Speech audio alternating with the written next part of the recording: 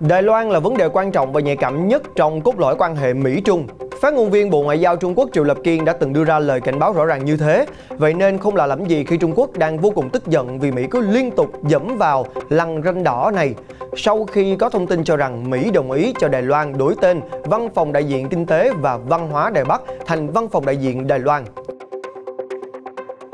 Rất nhiều chuyên gia chính trị cho rằng Trung Quốc đương nhiên sẽ không để yên và sẽ có các biện pháp trả đũa tương xứng. Không chỉ đấu đá trên mặt trận chính trị mà Trung Quốc và Đài Loan cũng đang vô cùng căng thẳng vì vấn đề kinh tế. Sau khi Trung Quốc ngừng nhập trái cây, Đài Loan đã vô cùng tức giận và lập tức dọa đưa sự việc này lên WTO.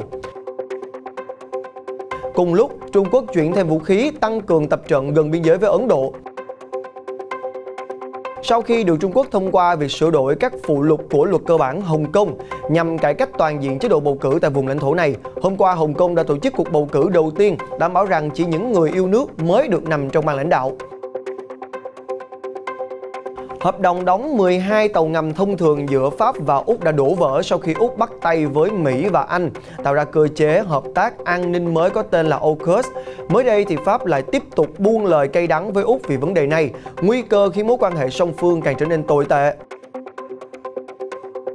Trong khi đó, Mỹ phóng thử thành công tên lửa đạn đạo Trident 2 từ tàu ngầm hạt nhân. Các thông tin đáng chú ý khác, thợ lặn Philippines dọn rác thải nhựa từ các rạn san hô. Ai Cập xây dựng kênh đào Suez trên đường sắt trị giá khoảng 4,5 tỷ đô la Mỹ. Trung Quốc tưng bừng đón Tết Trung Thu và đây là FBNC Thế giới hôm nay ngày đầu tuần. Chào quý vị, tôi là Quang Huy và quý vị đã cùng quay trở lại với FBNC Thế giới hôm nay ngày đầu tuần. Mở đầu chương trình ngày hôm nay với thông tin, mới đây thì South China Morning Post đã dẫn ý kiến nhiều nhà quan sát ngoại giao và quân sự nhận định Trung Quốc có khả năng sẽ tăng cường các hoạt động quân sự để răng đe Đài Loan, song song với việc trả đũa ngoại giao Mỹ nếu Washington đồng ý cho hòn đảo đổi tên văn phòng đại diện tại nước này. Sau khi chính quyền Tổng thống Mỹ Joe Biden được cho là đang cân nhắc nghiêm túc khả năng cho Đài Loan đổi tên Văn phòng đại diện Kinh tế và Văn hóa Đài Bắc thành Văn phòng đại diện Đài Loan, Đại tá Yue Gang, cựu sĩ quan quân đội Trung Quốc nói rằng vì Bắc Kinh không loại trừ việc sử dụng vũ lực để thống nhất Đài Loan, nên áp lực quân sự lên hòn đảo này sẽ ngày càng leo thang. Cụ thể, ông nói, chắc chắn chúng tôi sẽ không bỏ qua việc trừng phạt Đài Loan nếu họ thay đổi tên của văn phòng đại diện, vì các lực lượng đòi độc lập Đài Loan đã khởi xướng điều đó thông qua vận động hành lang, quảng bá mạnh mẽ để phục vụ và tạo điều kiện cho bầu không khí chống Trung Quốc ở Washington. Theo cựu quan chức này, các biện pháp trên đất liền có thể bao gồm các cuộc tập trận quy mô lớn hơn ở eo biển Đài Loan và xung quanh hòn đảo, đồng thời gia tăng số lượng phi vụ và tần suất bay của lực lượng không quân Trung Quốc qua đường trung tuyến của eo biển và thậm chí tiến gần sát không phận của hòn đảo. Ông Duê nói thêm, không chắc chắn chúng tôi sẽ vào không phận vì mục tiêu của chúng tôi là gây áp lực tinh thần cho họ chứ không phải khơi mào chiến tranh. Trong khi đó, nhà bình luận quân sự Song Jong-ping nói rằng chiến tranh sẽ là một vấn đề sinh tử và không phải là một động thái đơn giản để thực hiện. Ông cho rằng sử dụng các biện pháp quân sự để giải quyết vấn đề Đài Loan sẽ là biện pháp cuối cùng. Vì vậy, tất cả các hoạt động quân sự đều là sự chuẩn bị. Theo ông Wang Kung Yi, người đứng đầu Hiệp hội Nghiên cứu Chiến lược Quốc tế Đài Loan, nói rằng nếu Mỹ đồng ý với việc đổi tên, Bắc Kinh sẽ trả đũa Mỹ bằng cách ngừng hợp tác trong các vấn đề như biến đổi khí hậu hoặc đối phó với Taliban ở Afghanistan. Tuy nhiên, theo giáo sư Lu Ye-jong của Đại học Quốc gia Chengji, việc triệu hồi đại sứ tại Mỹ sẽ là một quyết định khó khăn vì một khi mối quan hệ song phương xuống cấp thì có thể phải mất nhiều năm để phục hồi. Và thưa quý vị, hết đấu đá trên mặt trận chính trị tuần vừa qua Đài Loan và Trung Quốc lại tiếp tục căng thẳng về vấn đề kinh tế. Cụ thể, chính quyền Đài Loan vừa dọa đưa Trung Quốc lên Tổ chức Thương mại Thế giới WTO sau khi Bắc Kinh thông báo sẽ tạm dừng nhập khẩu mãn cầu và mận từ vùng lãnh thổ này do quan ngại sâu về sâu bệnh. Vào ngày 19 tháng 9, Reuters đưa tin Tổng cục Hải quan Trung Quốc GAC nói rằng cơ quan này đã phát hiện rệp sáp trong mảng cầu và mận từ Đài Loan. GAC yêu cầu chi nhánh ở tỉnh Quảng Đông và tất cả văn phòng trực thuộc dừng thông quan hai loại trái cây đó của Đài Loan từ ngày 20 tháng 9. Đáp lại, trưởng Hội đồng Nông nghiệp Đài Loan Trần Cát Trọng nói rằng Trung Quốc hành xử đơn phương, không cung cấp bằng chứng mang tính khoa học. Ông Trần cho hay văn phòng của ông nhận được thông báo trên từ Trung Quốc vào lúc 9 giờ sáng ngày 19 tháng 9. Cũng theo ông Trần, Đài Loan đã báo với phía Trung Quốc là sẽ đưa vụ việc lên WTO theo cơ chế giải quyết tranh chấp của tổ chức này nếu Bắc Kinh không phản hồi đề nghị của Đài Bắc là giải quyết vấn đề theo khuôn khổ song phương trước ngày 30 tháng 9. Đây là lần thứ hai từ đầu năm đến nay Trung Quốc dừng nhập khẩu trái cây từ Đài Loan. Hồi tháng 2, Trung Quốc cấm nhập khẩu mặt hàng dứa từ Đài Loan với lý do chứa các sinh vật gây hại. Và cũng theo South China Morning Post, chiến khu Tây của quân đội Trung Quốc đã tổ chức thêm nhiều cuộc tập trận đêm cho các đơn vị đóng gần biên giới với Ấn Độ làm quen với trang bị và vũ khí thế hệ mới. Kể từ đầu mùa thu năm nay, một số lực lượng tại quân khu Tân Cương, Trung Quốc đã tiến hành nhiều cuộc tập trận tác chiến ban đêm ở khu vực núi cao khoảng 5.000 mét.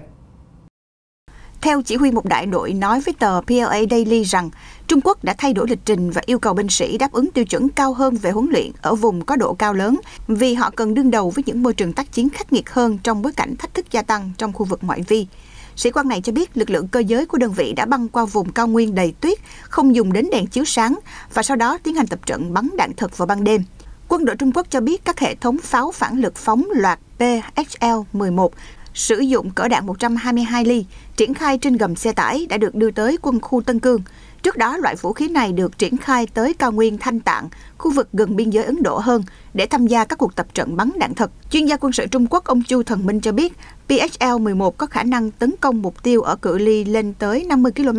và có thể quét sạch một ụ pháo của đối phương chỉ trong vài giây. Ông Chu nhấn mạnh việc thay thế các hệ thống trang bị và vũ khí ở chiến khu Tây đã được đẩy nhanh trong những năm gần đây do căng thẳng với Ấn Độ về khu vực biên giới tranh chấp. Nhà phân tích quân sự tại Hồng Kông ông Tống Trung Bình cho biết, gần như toàn bộ máy bay chiến đấu thế hệ cũ thuộc dòng J-7 tại chiến khu Tây đã được thay thế bằng dòng máy bay chiến đấu đa nhiệm J-16 tiên tiến hơn. Một nguồn tin quân sự tiết lộ, Trung Quốc đang có kế hoạch đến cuối năm 2025 sẽ thay toàn bộ 300 máy bay J-7 bằng khoảng 200 chiếc J-16.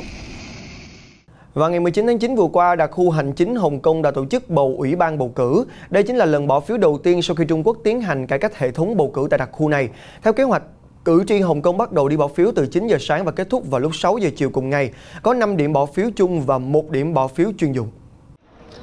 Vào sáng ngày 19 tháng 9, trưởng đặc khu hành chính Hồng Kông Carrie Lam đã đến thăm điểm bỏ phiếu ở quận Wan Chai. Bà nhấn mạnh cuộc bỏ phiếu này có ý nghĩa rất lớn bởi đây là cuộc bầu cử đầu tiên kể từ khi chính quyền Trung ương Trung Quốc cải cách hệ thống bầu cử để thực thi nguyên tắc chỉ cho phép người yêu nước điều hành Hồng Kông. Theo bà, cuộc bỏ phiếu lần này sẽ đặt nền tảng cho hai cuộc bầu cử sắp tới, gồm bầu cử Hội đồng lập pháp vào tháng 12 2021 và trưởng đặc khu vào tháng 3 2022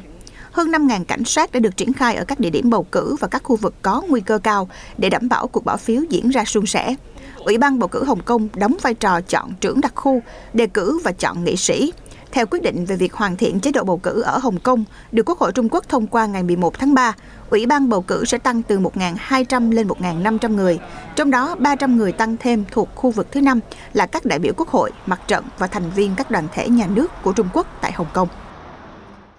Theo Reuters, theo kết quả của công ty luật Wilmer House thực hiện theo yêu cầu của Ủy ban Đạo đức World Bank một số cựu lãnh đạo của ngân hàng này đã gây áp lực lên nhân viên để nâng hạng môi trường kinh doanh của Trung Quốc trong báo cáo thường niên Doing Business 2018. Theo thông tin điều tra, làm dấy lên lo ngại về ảnh hưởng của Trung Quốc tại World Bank cũng như là tác động của Bắc Kinh lên các quyết định của cựu giám đốc điều hành Kristalina Georgieva và cựu chủ tịch Kim Jong Kim. Hãng luật Wilmer Health cũng đã chỉ ra những áp lực trực tiếp và gián tiếp từ các nhân viên cấp cao thuộc văn phòng của ông Kim nhằm thay đổi đổi phương pháp báo cáo kinh doanh, qua đó nâng hạng môi trường kinh doanh cho Trung Quốc. Wilmer Hale cho rằng việc làm này có sự chỉ đạo của ông Kim. Ngoài ra thì bà Georgieva và cố vấn Simeon Jankov cũng đã gây áp lực cho nhân viên để thay đổi điểm dữ liệu của Trung Quốc vào thời điểm World Bank đang cần sự hỗ trợ của Trung Quốc để tăng vốn. Doing Business là báo cáo môi trường kinh doanh thường niên của World Bank được thực hiện trên các tiêu chí đánh giá của tổ chức này và xếp hạng về mức độ tích cực tạo điều kiện thuận lợi cho kinh doanh của các nước trên thế giới. Thứ hạng càng cao thì môi trường kinh doanh càng tích cực với doanh nghiệp. Vừa qua thì Pháp cũng đã cáo buộc Úc và Mỹ đã lừa dối trong cuộc khủng hoảng về một hiệp ước an ninh. Trong đó thì Canberra đã hủy bỏ một hợp đồng mua tàu ngầm của Pháp để thay thế bằng các tàu của Mỹ. Phát biểu trên kênh truyền hình France 2, Ngoại trưởng Pháp Jean-Yves Le Drian cũng đã gây gắt có một sự giả dối phá vỡ lòng tin và sự coi thường. Điều này sẽ không mang lại lợi ích gì. Ông nhấn mạnh một cuộc khủng hoảng nghiêm trọng hiện đang diễn ra giữa các đồng minh. Trước đó vào ngày 17 tháng 9, Pháp đã triệu tập các đại sứ tại Mỹ và Úc về nước ngay lập tức để tham vấn. Ngoại trưởng Pháp cũng đã đả kích chủ nghĩa cơ hội thường trực của chính phủ Anh mà ông gọi là bánh xe thứ ba trong Hiệp ước An ninh với Mỹ và Úc. Ông lưu ý thêm rằng tổ chức Hiệp ước Bắc Đại Tây Dương NATO sẽ phải tính đến những gì đã xảy ra khi khối này cân nhắc chiến lược trong tương lai. Sau khi Mỹ, Anh và Úc nhất trí thành lập một liên minh AUKUS, Trong đó thì có thỏa thuận trang bị cho Úc một hạm đội tàu ngầm hạt nhân. Mới đây, Hải quân Mỹ đã vừa thử nghiệm thành công hai tên lửa đạn đạo Trident 2 D5LE phóng từ tàu ngầm. Vụ phóng được tiến hành từ tàu USS Wyoming, tàu ngầm tên lửa đạn đạo chạy bằng năng lượng hạt nhân lớp Ohio ở ngoài khơi Canaveral, bang California vào ngày 17 tháng 9. USS Wyoming được đưa vào hoạt động từ năm 1996 và thời gian gần đây thì đã trải qua một cuộc đại tu công nghệ. Tên lửa D5LE là phiên bản kéo dài tuổi thọ mới nhất của dòng tên lửa Trident 2, dự kiến sẽ được sử dụng đến năm 2042. Phó Đô đốc Johnny Wolf Giám đốc chương trình vũ khí chiến lược của Hải quân Mỹ cho biết rằng đây là một phần của chiến dịch được thiết kế nhằm chứng minh cho các đồng minh và đối thủ của Mỹ thấy rằng độ tin cậy chưa từng có về khả năng răng đe hạt nhân trên biển của nước này. Sau hai ngày nhóm họp tại Florence của Ý, thì các bộ trưởng nông nghiệp nhóm 20 nền kinh tế phát triển và mới nổi hàng đầu thế giới G20 đã ra tuyên bố chung tái khẳng định cam kết đảm bảo an ninh lương thực, hướng tới sự phát triển bền vững trên cả ba khía cạnh kinh tế, xã hội và môi trường. Theo các bộ trưởng nông nghiệp G20, mặc dù trong những thập kỷ vừa qua vẫn luôn tồn tại những rủi ro và thách thức, nhưng hệ thống nông nghiệp toàn cầu vẫn đạt được những tiến bộ đáng kể trong sản xuất lương thực. Bộ trưởng Nông nghiệp nhóm 20 mới đây cho biết một hệ thống lương thực bền vững và thích ứng là nền tảng của an ninh lương thực và dinh dưỡng, góp phần đảm bảo công bằng, xóa đói giảm nghèo, quản lý bền vững tài nguyên thiên nhiên, bảo tồn và bảo vệ hệ sinh thái, giảm thiểu và thích ứng với biến đổi khí hậu.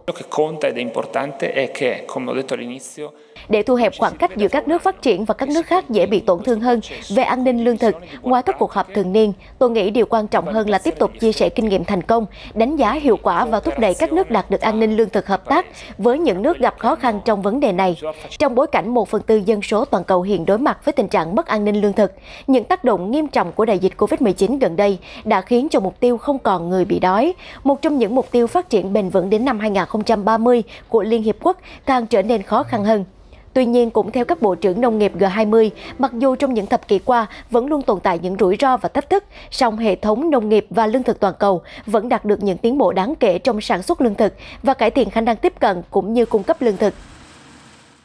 Thưa quý vị, mới đây thì một bộ phận các trẻ em gái ở cấp tiểu học tại Afghanistan đã được phép đi học trở lại. Theo hình ảnh từ video được hãng tin Reuters đăng tải, các em mặc trang phục Hồi giáo và tham gia các lớp tách biệt nam nữ. Chia sẻ với truyền thông, giáo viên Nizefe tại một trường học ở Kabul nói rằng Tại trường của tôi, nhiều thay đổi đã được thực hiện để phù hợp với quy định mới. Các học sinh nữ sẽ học buổi sáng trong khi nam sinh sẽ học buổi chiều. Các giáo viên nam sẽ dạy cho bé trai và giáo viên nữ sẽ dạy cho bé gái. Mặc dù đến nay học sinh ở nhiều cấp tại Afghanistan đã được đi học, nhưng những nữ sinh trung học cơ sở vẫn đang chờ đợi sự cho phép từ Taliban. Việc này đã khiến cho các em học sinh nữ trung học bắt đầu có những e ngại về tương lai học hành của mình. Và trong một thông báo mới nhất thì Taliban cho biết đang triển khai các bước chuẩn bị để nữ sinh sớm quay trở lại trường học. Tuy nhiên lại không đề cập đến mốc thời gian cụ cụ thể. Hầu hết các trường học ở Kabul đều đóng cửa khi Taliban trở lại kiểm soát đất nước. Các quan chức Taliban khẳng định rằng sẽ không áp dụng trở lại các chính sách như thời cai trị 1996-2001, bao gồm cả lệnh cấm trẻ em gái được đi học. Chuyển sang một số thông tin về môi trường. Thưa quý vị, vào ngày 18 tháng 9 vừa qua, hưởng ứng chiến dịch làm cho thế giới sạch hơn, các thợ lặn ở Philippines đã lặn xuống đại dương nhặt túi nhựa, chai nước uống và lưới đánh cá từ các rạn san hô. Đây chính là chiến dịch được tổ chức hàng năm nhằm làm nổi bật tác động của rác thải đối với các đại dương trên thế giới. Tại Philippines, khoảng một chục thợ lặn đã tiến hành dọn rác khỏi rạn san hô và các bãi biển ở tỉnh Batangas, một địa điểm nổi tiếng với du lịch lặn biển ở phía nam thủ đô Manila. Cầm một túi lưới chứa đầy rác, người tổ chức chiến dịch, huấn luyện viên lặn Camila Sevilla cho biết. Mỗi dây câu, lưới, túi bóng được gỡ bỏ là có thể ngăn được một con rùa chết hoặc mắc vào nó hoặc ăn phải túi nhựa. Philippines là một quần đảo gồm hơn 7.600 hòn đảo với gần 36.300 km bờ biển, là một trong những quốc gia giàu tài nguyên biển nhất thế giới. Tuy nhiên, các nhà vận động cho rằng Tài nguyên biển của Philippines đang bị đe dọa do chính quyền địa phương lơ là và việc thực thi luật môi trường lỏng lẻo. Theo báo cáo năm 2021 của ấn phẩm khoa học trực tuyến Our World in Data, trong tổng số rác thải nhựa đại dương trên toàn thế giới, ước tính có 81% đến từ châu Á và 1 phần 3 rác nhựa châu Á có nguồn gốc từ Philippines. Chiến dịch làm cho thế giới sạch hơn được tổ chức hàng năm vào thứ Bảy của tuần thứ ba tháng 9. Tại bang California của Mỹ, chính quyền tiểu bang đã cho phép nhân viên tiến hành bọc vật liệu đặc biệt để có thể bảo vệ cây lớn nhất thế giới cao 83 mét, tương đương tòa nhà 27 tầng trong công viên quốc gia khỏi đám cháy rừng. Nằm trong số hàng chục đám cháy rừng đã bùng phát khắp các bang miền Tây nước Mỹ từ đầu vụ cháy đến nay. Đám cháy KNP Complex gần thị trấn Three Rivers ở tiểu California đã khiến cho rừng quốc gia Sequoia buộc phải đóng cửa khi khói rừng cháy đã bao phủ dây đặc khắp khu vực này. Và theo thông tin trên hệ thống thông tin cứu hỏa INSWAP Liên bang Mỹ thì à, đến đến ngày 17 tháng 9 đám cháy KMP Complex đã lan rộng một diện tích là khoảng 4.450 hecta. Ngọn lửa đang hoành hành cách khu vực rừng cây cổ thụ của rừng quốc gia Sequoia khoảng 1,6 km. Và theo người phát ngôn của rừng quốc gia, đây chính là nơi sinh sống của cây General Sherman, cây Sequoia lớn nhất trên trái đất. Cây khổng lồ này có đường kính gốc hơn 11 m và chiều cao 83 m, cao tương đương mái vòm ở mặt tiền phía đông tòa nhà điện Capitol ở Washington DC. Mới đây, công ty cung cấp các giải pháp vận tải hàng đầu Siemens Mobility của Đức cũng đã ký hợp đồng với cơ quan quản lý đường hầm quốc gia NAT của Ai Cập vào đầu tháng 9 để xây dựng tuyến tàu điện cao tốc dài 660 km đầu tiên trong mạng lưới 1.800 km theo kế hoạch. Tuyến đường sắt này được nhà thầu Siemens gọi là kênh đào Suez trên đường sắt. Tuyến đường sắt này dài 660 km sẽ kết nối cảng Al Sokna ở Biển Đỏ và cảng Alexandria và Massa Matro tại Địa Trung Hải. Và theo Reuters chia sẻ như vậy, tuyến đường sắt này gồm một đường ray chính để chở hơn 30 triệu hành khách mỗi năm cùng với một đường ra để chở hàng hóa. Công ty Siemens cũng đã cho biết rằng tổng cộng hợp đồng này trị giá là khoảng 4,5 tỷ đô la Mỹ. Các đoàn tàu sẽ được chuyển giao từ cuối năm 2023 và sẽ hoàn tất vào năm 2027. Vào ngày 18 tháng 9 vừa qua, hội nghị thượng đỉnh lần thứ 6 của tổ chức các quốc gia Mỹ Latin và Caribe CELAC đã kết thúc sau một ngày làm việc tại Mexico với việc 31 nước tham gia đưa ra tuyên bố chung tăng cường hợp tác và hội nhập khu vực. Theo tuyên bố chung gần 44 điểm, các quốc gia tham dự đã đồng thuận về một kế hoạch tự chủ y tế nhằm tránh bị động và sự tiếp cận bất bình đẳng với vaccine trong các đại dịch tương tự Covid-19 có thể xảy ra trong tương lai, thành lập quỹ phòng chống thiên tai do biến đổi khí hậu với số vốn ban đầu là 15 triệu đô la Mỹ và thông qua cơ chế hoạt động của cơ quan vũ trụ Mỹ Latin và Caribe. Bên cạnh đó thì CELAC cũng đã thông qua việc lên tiếng phản đối sự phong tỏa kinh tế đối với Cuba và ủng hộ chính quyền của Afghanistan đối với quần đảo Malvinas. Trong bài giảng thánh lễ hôm Chủ nhật tuần qua, Đức Giáo hoàng Francis đã bày tỏ sự gần gũi với các nạn nhân của trận lũ lụt ở Mexico hôm 7 tháng 9. Cụ thể ông nói ta cầu nguyện cho tất cả những người đã hứng chịu một thảm họa thiên tai khủng khiếp ở bang Hidalgo của Mexico, đặc biệt là những người đã thiệt mạng và gia đình của họ. Theo ghi nhận, trận lũ lụt đã cướp đi sinh mệnh của ít nhất 17 bệnh nhân của một bệnh viện điều trị Covid-19 ở thành phố Tula, miền trung Mexico, sau khi nước lũ tràn vào đây khiến cho nơi này mất điện, ảnh hưởng nghiêm trọng đến việc cung cấp oxy. Ngoài ra, mưa lớn cũng đã làm ngập các con đường tại Tula và cũng đã cuốn trôi nhiều phương tiện và khiến khoảng 2.000 ngôi nhà trong khu vực bị hư hại. Thưa quý vị, tại Trung Quốc để chuẩn bị tổ chức Trung thu vào ngày 21 tháng 9 tới đây, chính quyền cùng với người dân khắp cả nước đã bắt đầu trang trí đường phố và các sân khấu lớn, chuẩn bị cho các hoạt động đầy màu sắc ăn mừng ngày rằm tháng 8 này. Vào thứ Sáu, một buổi hòa nhạc giao hưởng và trình diễn đèn lồng đã được tổ chức tại Nam Kinh và Côn Sơn để chuẩn bị cho các hoạt động lớn hơn. Cũng vào tối thứ Sáu, hơn 600 máy bay không người lái đã cất cánh và tạo thành những hình ảnh đặc trưng của các địa danh tại một thị trấn cổ có tên Hung Giao ở khu tự trị dân tộc Choang Quảng Tây, phía nam Trung Quốc, tạo thành một màn trình diễn kỳ diệu trên bầu trời. Đoàn tụ với bạn bè và những người thân yêu là điều không thể thiếu trong các dịp lễ hội. Gia đình, bạn bè, làng xóm gần xa, trong và ngoài nước đã tề tụ đông đủ để cùng nhau làm và thưởng thức những món ngon đặc sản của quê hương. Tại Quảng Châu thuộc tỉnh Quảng Đông, khoảng 20 người nước ngoài đã cùng nhau học làm bánh trung thu kiểu Quảng Đông. Từ một đầu bếp địa phương, còn tại tỉnh Hà Nam, các tình nguyện viên đã tổ chức một số hoạt động vui chơi cho trẻ em bằng cách nếm thử những chiếc bánh trung thu do chính tay họ làm. Người dân tộc Miao ở thị trấn Buji, tỉnh Hồ Nam, miền Trung Trung Quốc đã tất bật làm những chiếc bánh trung thu nướng đặc trưng dân tộc. Việc làm thủ công các loại đèn lồng giấy và gói hoa khô cũng được thực hiện trên khắp Trung Quốc để gửi lời chúc tốt đẹp nhất đến những người thân yêu của họ. Tết Trung Thu ngày 15 tháng 8 âm lịch của Trung Quốc rơi vào ngày 21 tháng 9 năm nay. Trong lễ hội, mọi người thường tổ chức họp mặt gia đình, ăn bánh Trung Thu, ngắm trăng và ăn mừng mùa màng bội thu. Thưa quý vị, hàng trăm chiếc xe taxi ở Thái Lan mới đây cũng đã biến thành một vườn rau mini với nhiều loại rau củ như là cà tím, ớt, dưa chuột và húng quế. Những chiếc xe này thuộc về một công ty taxi ở Bangkok, thế nhưng chúng đã đắp chiếu nằm không trong một khoảng thời gian vừa qua do biện pháp phong tỏa phòng chống đại dịch Covid-19. Do đó, công nhân từ các đội taxi đã sử dụng nóc của những phương tiện bỏ không để trồng rau bằng cách sử dụng túi rác nhựa đen căng trên khung tre. Từ đó thì các tài xế, những người bị ảnh hưởng nặng nề bởi đại dịch và gia đình của họ có thể kiếm được một nguồn thu nhập hỗ trợ giúp trang trải cuộc cuộc sống sau khi đem số rau củ được trồng đến nhiều khu chợ trong thành phố để bán.